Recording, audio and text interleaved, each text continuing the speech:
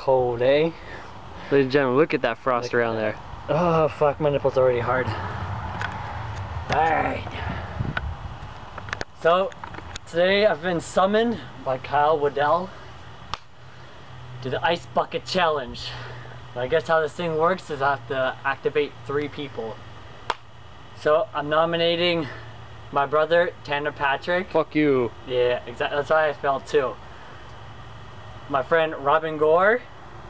That one's out to you, you little fuck. And Cindy Vigliotti, because she thinks that this is fucking hilarious after her last post. So, y'all been activated. You must do this.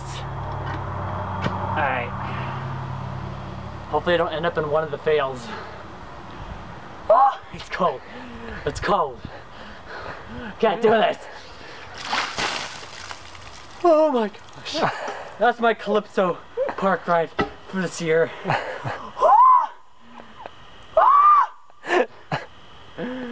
Alright, we're good. Y'all gotta do this.